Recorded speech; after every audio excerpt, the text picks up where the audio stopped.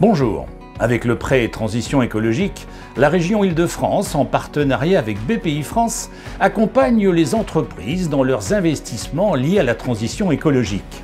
Ces projets d'investissement visent à optimiser les procédés ou améliorer la performance afin de mieux maîtriser les impacts sur l'environnement, à favoriser la mobilité zéro carbone pour les salariés, les marchandises et les produits, à innover et à favoriser un mix énergétique plus vertueux en intégrant davantage d'énergie renouvelable.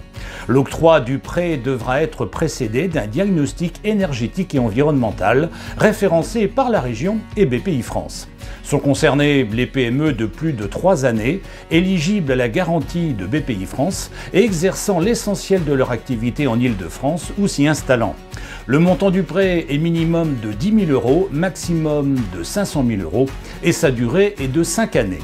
Pour en savoir plus et connaître tous les critères d'éligibilité, rendez-vous sur les pages spéciales du site Fimeco Walter France ou contactez-nous à l'aide du mail qui s'affiche sur votre écran.